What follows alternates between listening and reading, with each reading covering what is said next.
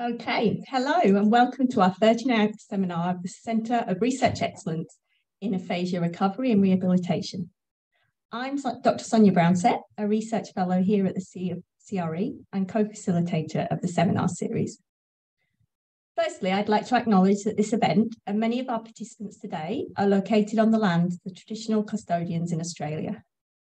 Today, I'm speaking to you from the land of the Turrbal people. We pay our respects to elders past, present, and future, and extend this respect to any First Nations people joining us here online today. Today, we're delighted to have Dr. Samuel Harvey joining us from the University of Queensland. Sam recently completed his PhD here at the CRE and will present his work on examining the role of treatment dose in post-stroke aphasia. Before I formally introduce Sam, I'm just going to briefly cover some housekeeping. If you haven't done so already, please do join us as a member of the Aphasia CRE community of practice.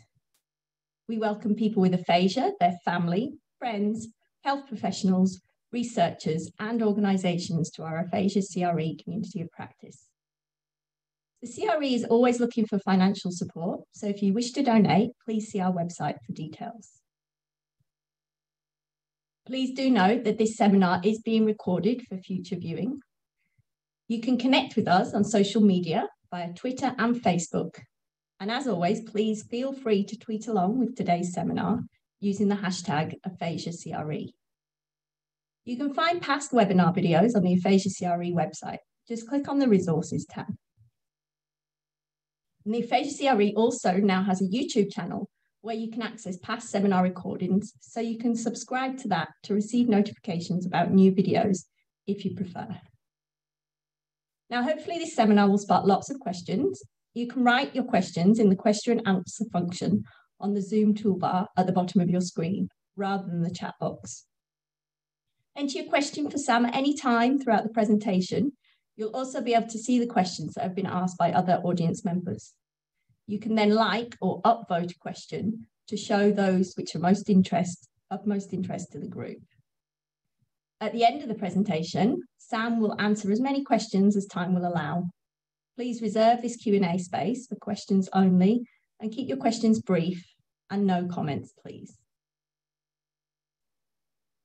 So now I'm delighted to introduce our speaker today, Dr. Samuel Harvey.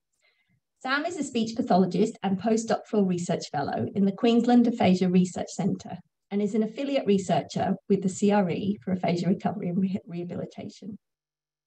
Sam has over 10 years experience working as a speech pathologist with adults who live with the consequences of brain injury.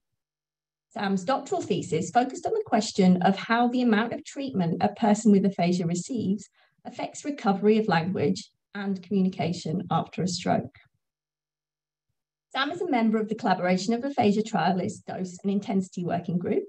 He's an early career researcher representative for the International Collaboration Network of N of one trials and single case designs.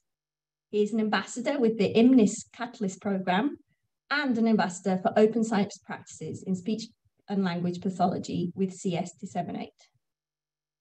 He's currently working on a number of aphasia, of aphasia research projects here at the Queensland Aphasia Research Centre, aiming to improve the consistency of care that people with aphasia receive. So I'd like to hand over to you now, Sam. Thank you for joining us today. We're looking forward to hear your talk. Thanks very much, Sonia, for the introduction. And uh, thank you also to the CRE for the invitation to come and speak today. It's a real um, honor to be here talking to you about something that I've spent quite a bit of time thinking about, and I'm excited to share um, the products of the, the work from my PhD. I'm, uh, I'm presenting to you today from Gubbi Gubbi country on Queensland's Sunshine Coast, and I pay my respects to the elders past and present and emerging leaders of the traditional owners of these lands, waters and skies, and I acknowledge the enduring contributions of First Nations people here and around Australia. The work I'm presenting today was undertaken during my uh, doctoral studies, and I'd like to acknowledge and thank these stellar individuals, Professors Miranda Rose and Michael Walsh-Dickey, and Dr. Marcella Carragher for their contribu uh, contributions to this work. Um, I anticipate that um, in the audience today, we'll have some clinicians, some researchers, um, maybe some people with lived experience of aphasia attending. And I really hope that my presentation will have something of interest for everyone. Aphasia impacts every aspect of a person's life. And the aphasia CRE is funded to tackle the highest priorities in aphasia research. Central to the advancement of aphasia care is the enhancement of treatment effectiveness. People with aphasia, caregivers, health professionals agree that this is the number one research priority relating to aphasia following stroke. The amount of treatment a person receives, the dose, probably influences recovery, but we don't know much about these so-called dose-response relationships, particularly in the context of the complex interventions used to treat aphasia and its psychological and social consequences. There are many factors that may influence a person uh, a person's recovery from aphasia, and while um, here are some of them, and while some factors like the um, the size and site of a stroke um, appear to be strongly predictive of recovery, speech and language treatments may offer a relatively small boost to a person's overall recovery. But unlike factors like uh, stroke related factors, treatment related factors are modifiable. People with aphasia and um, clinicians have some control over these factors. And today we'll be exploring the role of treatment dose in aphasia recovery and we'll consider implications for future aphasia research and clinical practice. So the, the fundamental question is, how much treatment does a person with aphasia need to get the best recovery of language skills and communication after having a stroke? There are three parts to today's presentation. In part one, I'll answer the question, what is dose? Part two concerns um, the evidence for the effect of treatment dose on aphasia recovery, and this will form the bulk of the presentation. And then um, towards the end, we'll look to the future of aphasia dose research. Okay, so what is dose in the context of these complex behavioral treatments we use in aphasia rehab? Broadly speaking, I'll, I'll define dose as the amount of treatment provided or received. And I differentiate this from the treatment schedule, which defines how the dose is distributed over time. At the outset of my PhD, we wanted to understand how treatment dose had been um, characterized in aphasia treatment research. So we conducted a scoping review to find out. And just a note, I use QR codes throughout this presentation that will take you to various websites. So have your phone handy and also if for whatever reason you're unable to access the published version of a particular paper and you'd like to read it, please do get in touch via email and I can share open access versions of these publications. So in this scoping review, um, we reviewed 112 aphasia treatment uh, studies spanning 50 years of aphasia research. And most of these studies were small. They included 10 or fewer participants and they were typically conducted in the chronic phase of recovery, that's six or more months post onset of aphasia. And these studies typically um, investigated the efficacy or the effectiveness of impairment focused interventions. Nearly all of these studies talked about dose in terms of the amount of time of treatment uh, provided. Um, and most studies also reported the number of sessions provided, and about a quarter of studies reported dose in terms of um, the activities that were undertaken during treatment in such a way that you could um, sort of come up with a cumulative total number of activities that were provided during the treatment phase. And a few studies um, reported a, a, more nuanced uh, version of hours, which is time on task, where the participants were actively involved in, in treatment. So this tells us that um, the dose of an aphasia treatment is multidimensional. It's the time spent doing treatment and it's the activities performed by the therapy provider and recipient during that time. Those activities are the basic building blocks of treatment. And for an efficacious treatment, those activities contain the active ingredients, which are the actions that are presumed to enhance new learning and new behavior and are therefore linked to the underlying mechanisms of action of a particular treatment. This characterization of dose uh, aligns with clinical practice, where clinicians typically talk about the number of hours or sessions of therapy provided, um, but we're also interested in the activities performed during that time. So we will count the number of repetitions of a particular task, for example.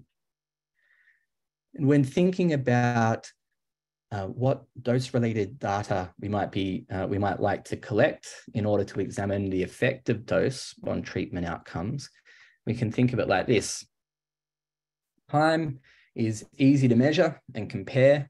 It's clinically relevant. It's easily understood by patients, families, healthcare providers, um, and it's the most commonly reported dose measure. But in terms of understanding dose response relationships, time may be inadequate because it lacks specificity. It assumes that all hours of treatment are the same, which is not true. And it potentially obscures underlying mechanisms, mechanisms of action because we don't necessarily know what's happening within therapy. On the other hand, characterizing, uh, characterizing dose in terms of activity is more refined it's treatment specific. So, for example, the therapy activities involved in semantic feature analysis are not the same as the activities used in treatment of underlying forms. And uh, as I mentioned, for an efficacious treatment, the therapy activities will contain the active ingredients, which may serve as empirical evidence of theorized uh, mechanisms of actions for a particular treatment. But examining or collecting data on therapeutic activities is labor intensive. And what we learn about dose response relationships in one treatment may not necessarily generalize to other treatments. So our scoping review demonstrated that dose is multidimensional and that there is some inconsistency in the concept, uh, conceptualization, and the measurement and the reporting of dose in aphasia treatment research to advance our understanding of treatment response in aphasia rehabilitation research, we see the potential um, benefit of adopting a framework to guide this dose conceptualization, measurement, and reporting. To this end, a working group within the aphasia CRE uh, reviewed existing dose frameworks for their poten uh, potential application to aphasia rehabilitation research. And in this work, uh, we identified and compared three existing dose frameworks, and there was one standout in terms of its comprehensiveness and specificity of dose parameters.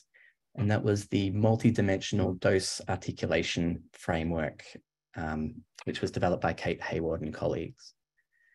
This tool is helpful. It makes the multiple dimensions of dose uh, really clear at the, at the macro level, there's the overall treatment duration. So for example, a person receives 12 weeks of therapy. And within that, treatment will be provided on one or more treatment days. And these can vary from week to week. So you could have a block of daily therapy followed by a block of weekly therapy, for example. Each treatment day, there'll be one or more treatment sessions, which are defined by their length in time. And then within sessions, there are these episodes that contain the active ingredients of therapy. In this study, we applied the multidimensional dose articulation framework to three uh, previously reported aphasia treatment studies, which span the ICF.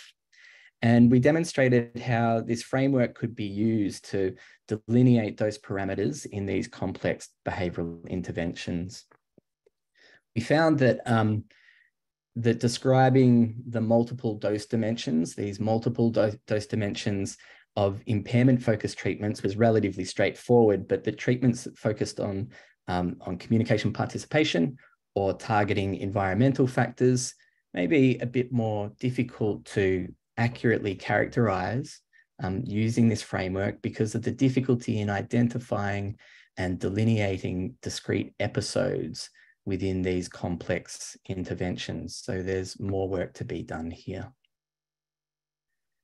this work has been um, picked up by a group within the collaboration of aphasia trialists um, led by Professor Lucy Dipper.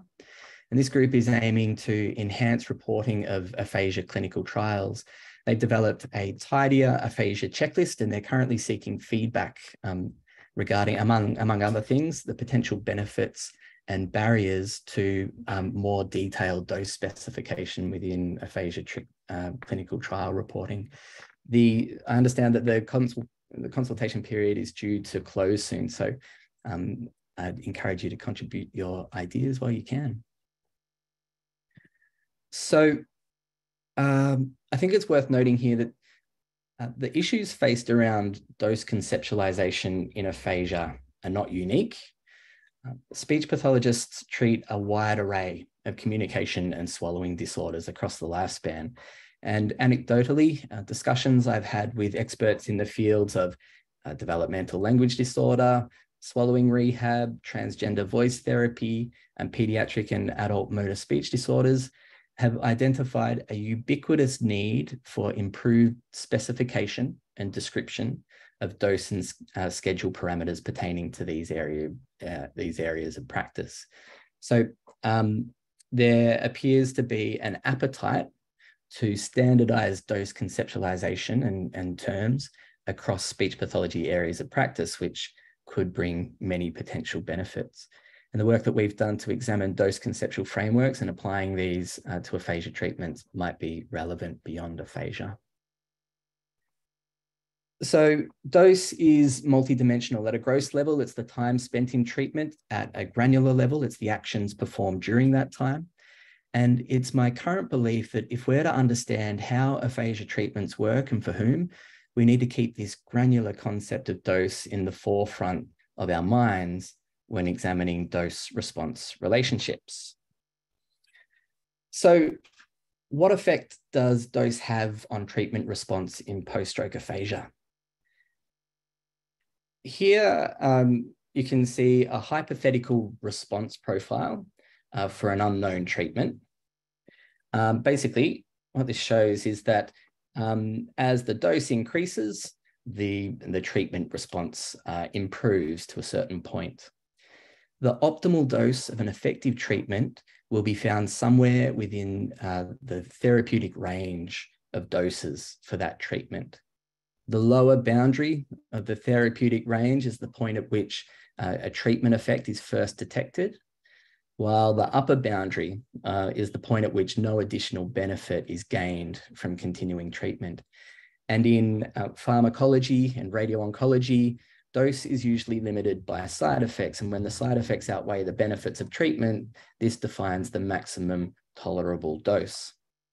Similarly, uh, in behavioral treatments like those used in aphasia, um, these treatments are likely to exhibit therapeutic dose ranges but there are challenges that need to be solved um, identifying the boundaries of the therapeutic range for a particular aphasia treatment.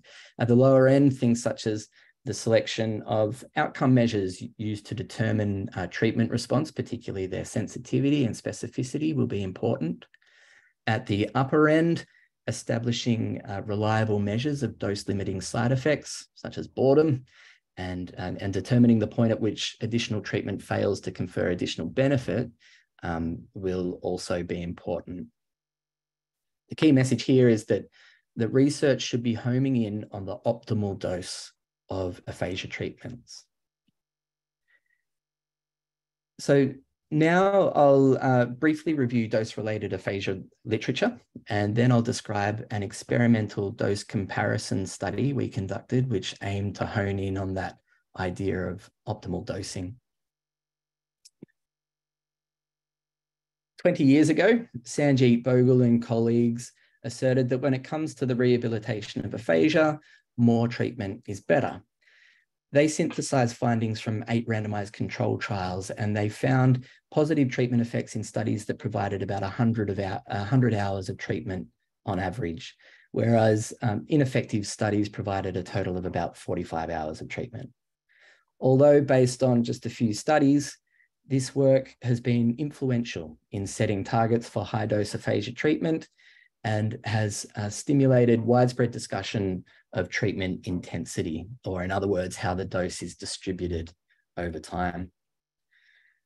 Uh, more recently, the 2016 Cochrane review by Marian Brady and colleagues included 10 dose sub-analyses, which investigated the relative superiority of more or less treatment on a range of outcome measures. Uh, and for these sub-analyses, the authors meta-analyzed group-level outcome data from six randomized control trials in which uh, the participants re received either a higher dose or a lower dose of treatment. Um, in those analyses, more treatment was favored on just two outcome measures, functional communication and written expression. But both of these findings came from a single randomized control trial, respectively. Uh, these analyses also showed that the lower dose condition was associated with better treatment adherence and fewer dropouts. And then last year, the release collaborators, again uh, led by Marian Brady, published uh, this large-scale network meta-analysis, uh, which examined relationships between dose and schedule parameters and treatment outcomes.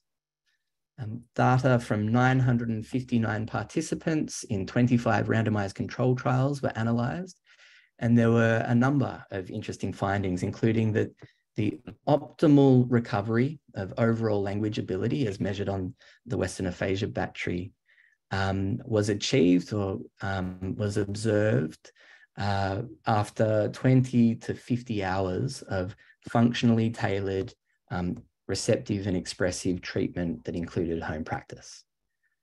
The release study uh, provides a starting point for benchmarking dose and schedule parameters uh, for different treatment approaches and participant characteristics. And taken together, um, these reviews are valuable because they provide indications around where the therapeutic range of doses of aphasia treatment might lie. But interpretation is challenging. I'll just say that this isn't a criticism of these high quality reviews, nor is it a criticism of the studies included in the reviews.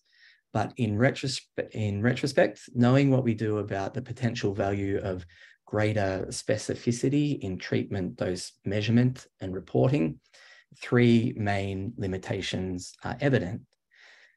First, these syntheses and meta-analyses relied on data from studies that conceptualized dose as the number of hours of treatment rather than a more nuanced measure of dose. Where dose comparisons were made, these reviews compared dose response relationships across different amounts of different treatments. And lastly, the doses provided in the included studies were arbitrary in the sense that preliminary work establishing the optimal dose of specific treatments is non-existent, or at least it's not published. So we have no way of knowing if optimal doses of these treatments were applied in any of the included studies. If we accept, and you may not accept this, I'm open to discussion about this, but if we accept that the dose of a treatment is, um, the, the dose is treatment specific, that dose is, is yoked to the active ingredients of a particular treatment, then what we stand to learn by comparing different amounts of different treatments before the optimal dose of those treatments has been established is questionable. So we dug into this a little bit. Um, the scoping review that I spoke about just a moment ago identified 15 studies that compared different amounts of a single intervention. In this study, uh, we synthesized findings from, from six of those studies, which met our methodological standards for inclusion.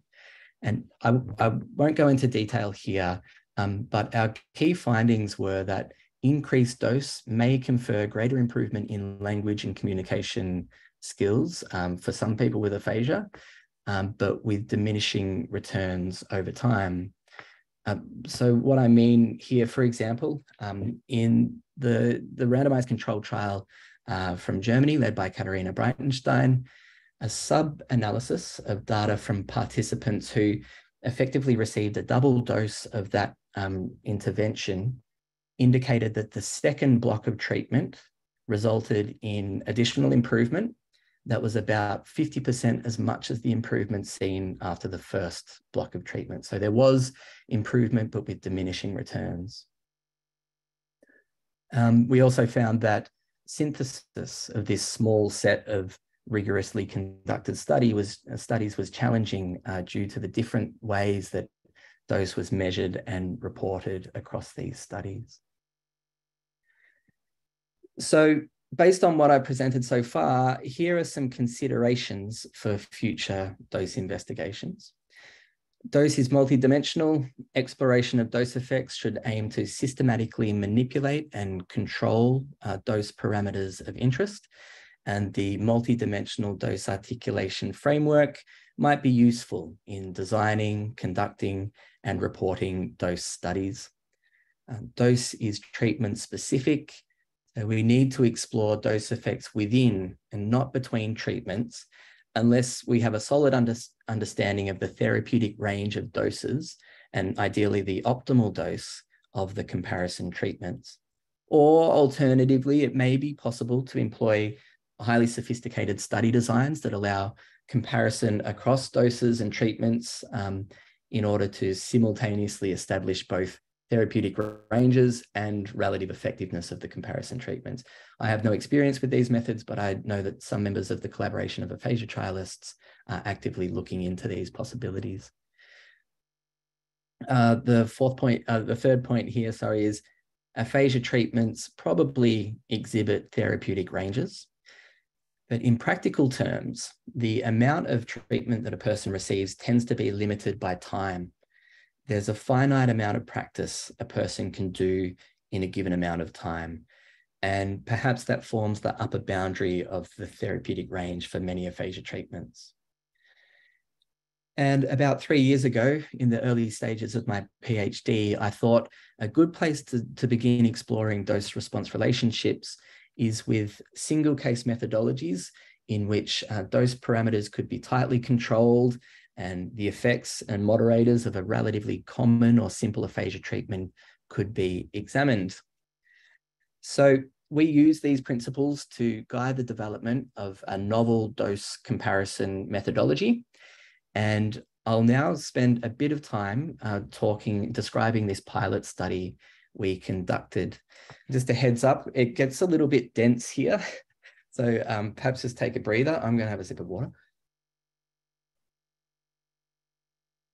So first step was to select a common aphasia treatment target. Um, we, we selected anomia, which just about everybody who has aphasia experiences. We selected a common anomia treatment, in this case, a cued picture naming treatment, which I'll describe in detail shortly. And we chose to explore how the number of episodes of cued picture naming treatment a person receives influences uh, their anomia recovery. Participants were recruited into an 18-week study, uh, which comprised pre-treatment language and cognition tests, a four-week multiple baseline study, which included three weeks of treatment, and follow-up naming tests. The primary outcome was picture naming accuracy on daily naming probes um, during the, the multiple baseline study. Um, and secondary outcomes were, were naming accuracy on the picture naming test. The picture naming test comprised um, pictures of 298 objects like these ones here. And uh, we analyzed changes in picture naming accuracy uh, throughout treatment and at follow-up. Cued picture naming treatment um, has some evidence to support its use for the restoration of vocabulary in chronic aphasia. This is a, a depiction of one episode of cued picture naming treatment, uh, remembering that the episodes contain the activities conducted during a treatment session. An episode of this treatment begins when the clinician shows the person with aphasia a picture and then provides a series of cues uh, to elicit the name of the picture. And each time a cue is provided, the person with aphasia has an opportunity to name the picture. And regardless of their success, the next cue in the sequence is provided. There are eight cues, So the person with aphasia has eight opportunities to name the picture each episode. And this episode structure is identical every time a new picture is presented.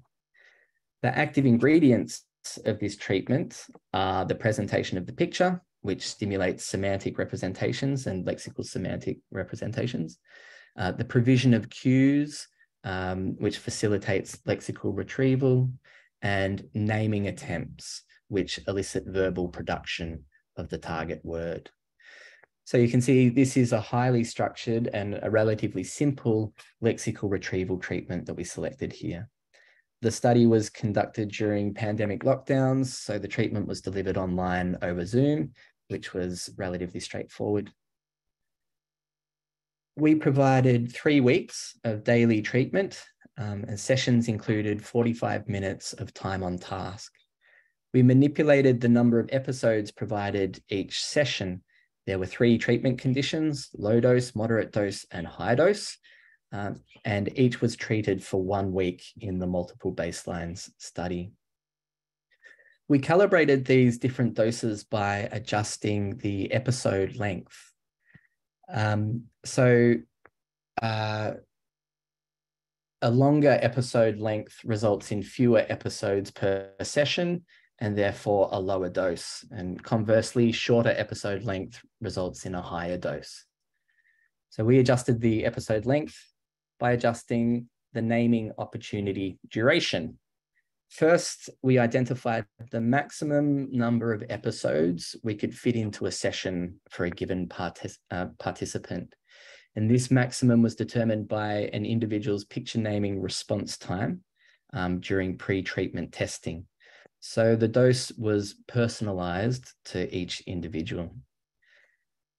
Under the low dose condition, each picture was treated once per session. Um, uh, that is, there was one episode per picture per session, and that resulted in 40 naming opportunities across the week of treatment. Under the moderate dose condition, each picture was treated twice per session, and under the high dose condition, each picture was treated three times per session. Um, importantly, each, um, each dose condition had a separate set of pictures and there was a fourth set of pictures uh, which was left untreated. We used a multiple baselines design. Uh, so during the treatment period, we monitored picture naming accuracy on all of the allocated pictures each day for four weeks. Um, in week one, there was no treatment. All picture sets were in baseline. And here you can see the proportion of pictures named accurately each day uh, across the four treatment conditions. Uh, then in week two, the first treatment set was introduced and the other three sets remained untreated. In week three, we stopped treating the first set and introduced the second set. Then in week four, the last treatment set was introduced. Right, so that's the experimental setup. Um, now to the results. Four people with chronic post-stroke um, aphasia were recruited from the community in 2021. They ranged in age, they came from diverse ethnic, educational, and occupational backgrounds. They had varied aphasia type and severity, and they had a range of co-occurring cognitive, sensory, and motor deficits. Assessment one, uh, sorry, analysis one uh, estimated the likelihood of accurately uh, accurate naming for individual pictures throughout treatment. And we use mixed effects models to compare changes in naming accuracy for treated pictures against changes in accuracy for untreated pictures. In order to demonstrate a treatment effect, the magnitude of improvement in naming of treated items needed to far out um, exceed any changes in, in naming accuracy on untreated items. And it's worth noting that all four participants improved naming accuracy for untreated items. And we consider that this is an effect of um, daily exposure to these, uh, to these pictures throughout the multiple baselines study. This chart here, it's a bit complicated and a little blurry, but it shows the odds ratio. So that's the likelihood of successful naming over unsuccessful naming after each treatment session um, of each dose condition versus the untreated condition. in short, um, treatment effects were evident for three of the four participants. Uh, the, the treatment effects accrued over time. So you can see that there's um, an increase in the odds ratio over time for uh, most of these participants. Um, and a number of factors, uh, there seems to be a superiority of the high dose condition for those three participants who responded. And a number of factors um, help us to understand variability in dose response relationships observed across these participants.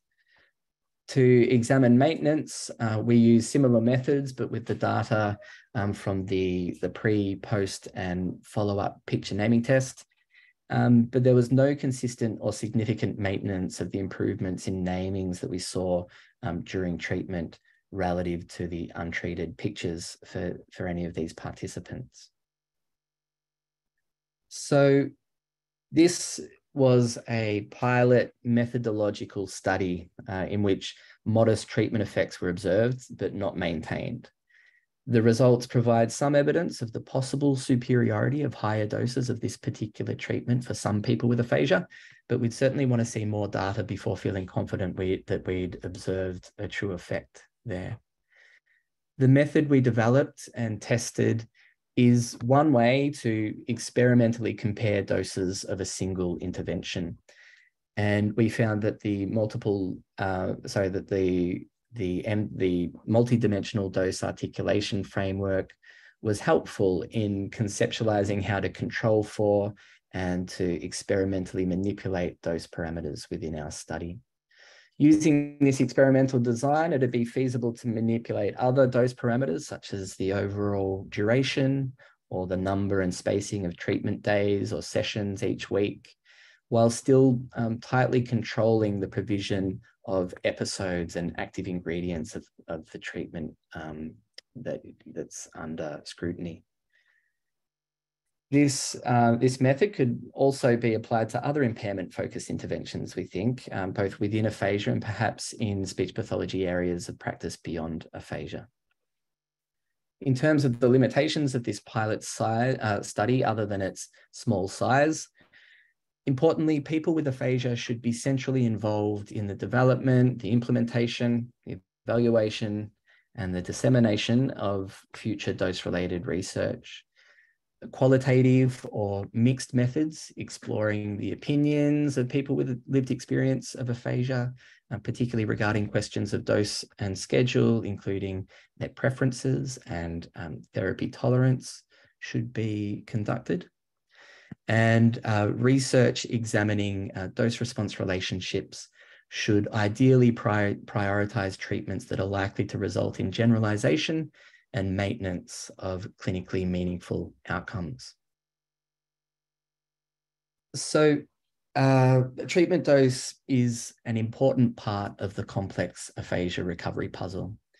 And the work I presented today um, provides a refined understanding of what constitutes dose in complex aphasia uh, treatments and um, and we provided a method for systematically examining uh, dose effects within impairment focused treatments.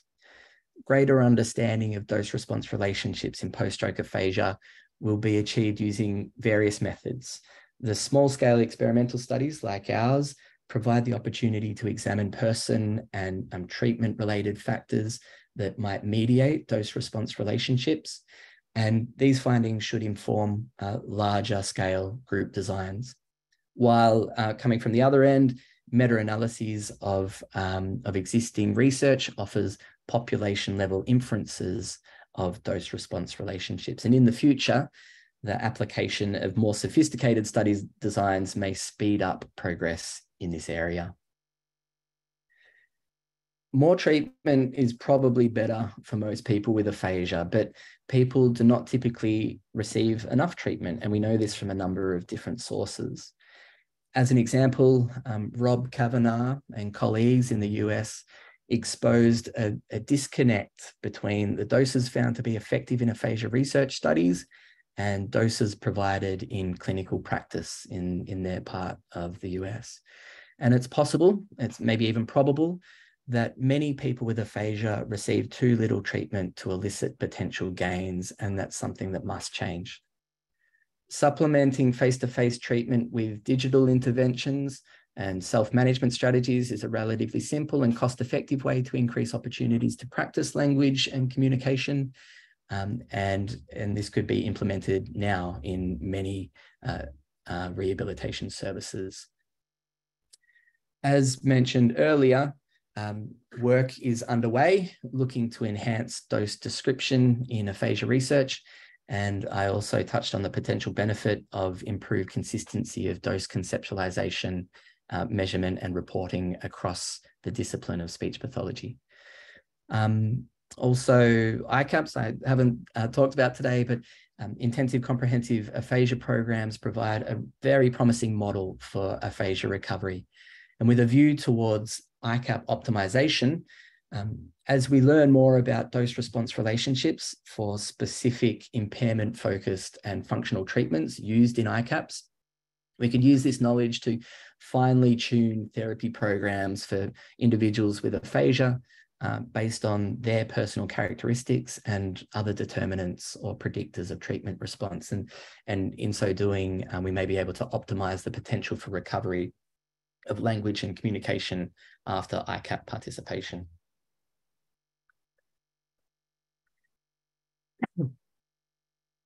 Uh, getting close to the end now, and my voice is clapping out. Um, clinical decision support tools. So in clinical practice, uh, clinicians and patients make decisions regarding the type, the timing, and the amount of treatment required uh, to achieve specific goals. uh, evidence to support, oh, excuse me.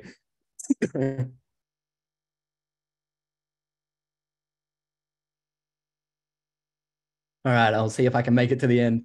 Uh, evidence to support um, decision making around dosing and scheduling is emerging. Uh, and uh, existing decision support making tools like uh, the Australian Aphasia Recovery Path uh, Rehabilitation Pathway, for example, um, they include lots of information about um, many aspects of aphasia rehabilitation, but as yet they provide no detail regarding the appropriate dose of specific treatments. But as we learn more about the interacting factors that mediate treatment response, uh, including dose and schedule, then this information should be embedded within these existing guidelines and uh, decision support tools. And finally, uh, ongoing international collaboration involving researchers, clinicians, people with lived experience of aphasia, um, health policy decision makers, healthcare administrators, funding bodies, will be pivotal to implementing more sophisticated research capabilities and hopefully to answer some of the more nuanced questions regarding which dose of which treatment is best for whom. I'm optimistic that a future exists in which uh, enhanced understanding of the interaction between personal characteristics and different treatments, doses, and delivery schedules will provide greater certainty regarding aphasia recovery and greater choice regarding treatment options for clinicians and people living with aphasia. Thank you again very much for the opportunity to speak today and for your attention. I uh, look forward to responding to some questions.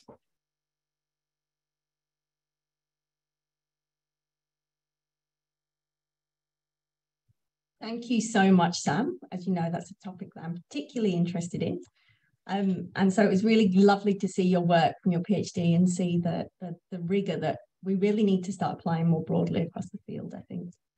Um, we've got a couple of questions. Um, but while we get hopefully a few more coming through, I'm going to uh, take the opportunity to ask you one.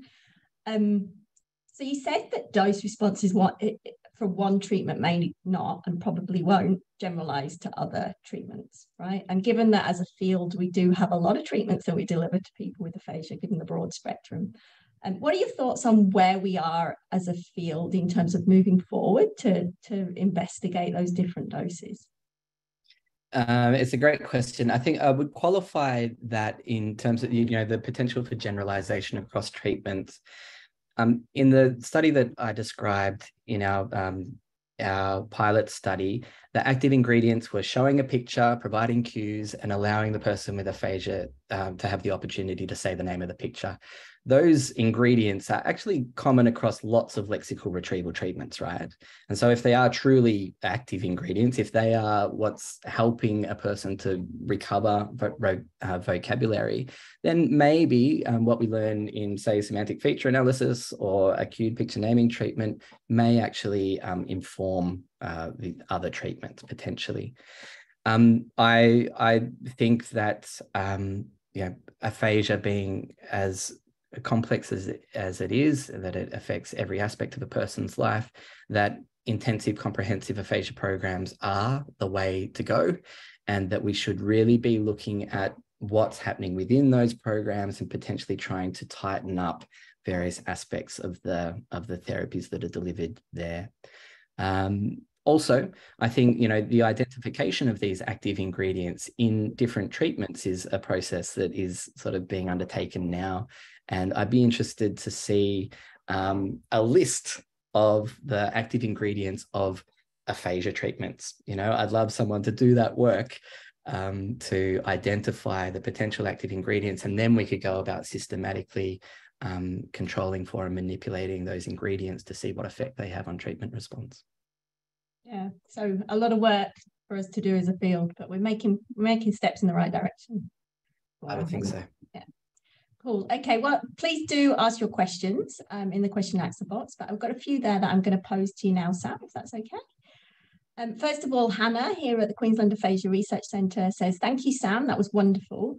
From your work, how do you think dose could be conceptualised within participation functional interventions? What are your thoughts on that? It's a wonderful question. And we touched a little bit on this in our paper examining dose effects, uh, sorry, examining dose frameworks. Um, it's really challenging and it will depend on the on the intervention, I suspect um, you know, there, there's a bit of a continuum from impairment focused into participation, I suppose. And for interventions that are sort of stepwise, like you might start at a word level and then up to a phrase, sentence, and working towards discourse and then embedding that discourse into a communicative exchange, I think you can probably identify those discrete episodes along the way. And then by the time you get to a communicative exchange, you've got a very clear idea of what those active episodes are doing um, in that context. So I think that's one potential. And I think, you know, there, um, there are a couple of um, candidate therapies um, that have been published recently that um, would suit that kind of dose characterization really nicely. Um, it remains to be seen for very complex, multifaceted um, participation or environmental sort of targeting um, approaches, whether taking this, this reductionist approach to dose conceptualization will bear any fruit whatsoever. It may be that if you can't identify what those parts are, well, let's just talk about time spent or perhaps um, some other metric of, you know, how we measure the, the time spent doing the treatment. Yeah, I'm, I'm certainly not arguing that we need to take this um, this granular approach to everything that we do. Okay, brilliant. Thank you. Um, and another question from Hannah. Um, in an ICAP, how do you think we can enhance our monitoring of dose other than number of therapy hours? Um, great question. I think some people are doing this already. Um, you know, if you're using a computer-based um, therapy delivery system, um, then you can capture, you know, the number of turns that a person has, the number of times a picture is being shown, that kind of thing. Clinicians routinely make notes. Uh, I've spoken to lots of clinicians around Australia over the last few years about how they kind of track what they're doing within a therapy session, and cl- clinicians routinely uh, either have a table or scribble out um, on scrap paper how many times a task has been done, how many repetitions and response accuracy and that kind of thing. And then they transfer that data into a file, um, you know, into the patient's record. So I think that we're kind of, we kind of do this already. Um, being systematic about it just means uh, knowing specifically what it is that you're looking for for a particular treatment and setting up a system that allows you to collect that data without it hindering your ability to do the therapy. Yeah, and that's absolutely crucial because you don't want that to detract from the dose ultimately. Um, that's right. A, a question from Kerry Corley. So she says, hello from London. Thank you for getting up so early, Kerry. Um, I agree that digital technologies are an important tool increasing dose towards therapeutic levels given the limitations in aphasia services. However, in evaluating these, the self-derived formats mean we lose control of dose and even what a session is if participants can pick up, pause and put down therapies whenever convenient for them and take varied break lengths. What would you keep in mind when applying the MDAF to evaluating a digital therapy with self-delivered dose? Big question. Yeah. Hi, Kerry. Hi in London. It's early, I understand. Um, thank you very much for your question. Look, I think that's great. I think it's awesome that um, when people are doing self-managed therapy, they do it on their terms. I think that's fantastic. And if that, you know, at the end of my talk, I I sort of envisage this future where people can choose how they do therapy. It might not make a great deal of difference whether or not you do an intensive block or if you spread it out over a, a vast amount of time.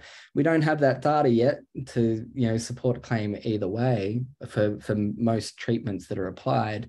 So it might come down to what the person who's doing the treatment prefers and anyhow you know if it's a if it if if the treatment's delivered online or through an app um, perhaps there is some way of gathering data on what uh, activities were undertaken during that time uh, also you know the start time the end time of sessions so you could get a sense of how the dose was distributed over time. Um, I'd be really happy to talk to you about specific situations and so on um, if if you're thinking of something specific. Uh, but yeah, I you know I don't have a um, I don't have all the answers here, but I think that uh, it's terrific when people can self-manage, and I think we should be encouraging that. You know, aphasia is a chronic health condition, and we need to be um, treating it as such. We need to be con considering it as such, and it means that um, self-management, just like with asthma and diabetes, should form a, a major part of a person's recovery. Thank you, Sam, and thank you, Kerry. Um, we have another question here from Caterina Breitenstein. Um, also, thank you for joining us so early. Um, she says, thank you for a great talk. Do you have data on how many, how much of the participants enjoyed the different dose conditions?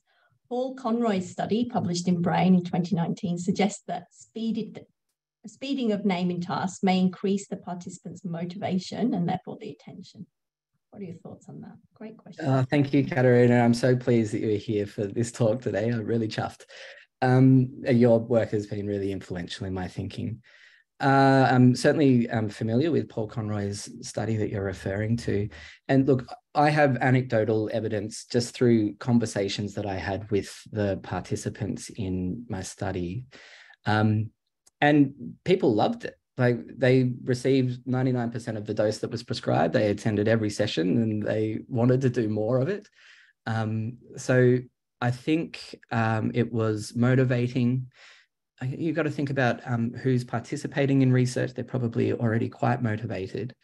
Um, but yes, I'm I'm interested to, and in our uh, in our write up of that pilot study, we do explore some of the the um, cognitive factors that might um, predispose a person to doing well with this kind of treatment. Um, and yeah, I think that certainly it's not for everybody. Um, but it didn't appear to put people off. The the best way to get at your question would be to to use mixed methods. I think you know, and getting opinions of people along the way regarding um, what it's like to participate in these studies. Even better than that would be to co-design the studies with people with lived experience of aphasia, so that they can tell you up front what's going to be important to them and um, and then you can design your study that way. Brilliant, great, great answer. Um, there's no more questions just yet, but um, maybe some will come through. So I'm just going to ask another question. I quite like this position. Um, so if moving forward we can show that we have optimal doses, so I'm thinking about your lovely diagram that you had where you um, uh, there's a, there was a circle of optimal dose and then beyond a certain point there was no advantage. Um, so if we can show that there is an optimal dose for each therapy that we deliver, Um, that also means that we have a suboptimal dose, right, which was in, inherent in your picture. What are your thoughts on what that means for us as clinicians in terms of delivering a dose that we know to be suboptimal? Uh, I think this is what drove me to do a PhD was this um, sort of bugging thought in the back of my mind that I wasn't actually providing the therapy that people needed to, you know, optimize their recovery. It's really, you know, uh, it's about providing an opportunity to maximize recovery. It's not about maximizing recovery, it's about providing an opportunity to maximize recovery. And look, in the clinical context that I was working in prior to doing the PhD, uh, I don't know that it was set up to provide the sorts of doses that I think would be really effective. Um, that's a hunch that I have. It's I think it's um, you know, there are ethical issues around providing treatment that you know not to be effective, but we don't know necessarily that there are these suboptimal doses being provided and so on. I think it's something that we need to carefully examine. Um, and you know, I'm I'm also interested in other people's thoughts on this. Um, certainly, way uh, i think we've just got to turn to dose augmentation you know whatever we can do to increase the opportunities for practice for getting people back into the activities that they're interested in participating in and get you know language exposure that way and ultimately just sort of getting on with life. Agree agree um, just before we bring it to an end, we've got one more question from Hannah, but I think ha actually Hannah's sat with a group of people here in the Queensland Aphasia Research Centre. So I think they're from the group, not just Hannah. Um, but she's asking, what other elements of learning do you think may be important for treatment effectiveness? Oh, wow. I mean, this is big. Uh, I can imagine Kira Shigan sitting, Dr. Shigan sitting there thinking about this one. Um, look, I think there there are many factors that will influence a person's recovery here and the effectiveness of these treatments. Um, look, specifically to different elements of learning. Um, well, in in our pilot study, certainly um, people that were um, oh, now I'm just trying to think back to the specifics of our, our four participants. There were people who um, had certain e- executive control um, abilities and disabilities that uh, perhaps inhibited their ability to attend to tasks and so on for prolonged periods of time. Although that didn't affect them from actually participating, perhaps that might be related to how they encode and uh, store and retrieve um, words in in a learning paradigm like the one that we set up. But ours our study wasn't really set up for that. So um, yeah, interested in other people's ideas about about learning as well. Thank you very much, Sonia, and thank you to everyone for um, for attending today and for the questions. Brilliant. Thank you so much, Sam. It was absolutely delightful talk to listen to. Um, so thank you for, for speaking and thank you to the um, audience for attending and for those great questions. Um, just to bring your attention for our next CRE seminar, we'll be hearing from Dr. Aleksi Sihvonen from the University of Helsinki. And he's going to be presenting to us on music-based interventions in neurological aphasia rehabilitation. So this seminar is going to take place on Wednesday, June the 28th. Um, so do follow us on Twitter and via our community of practice for details of how to register for the seminar. Thanks again and see you then.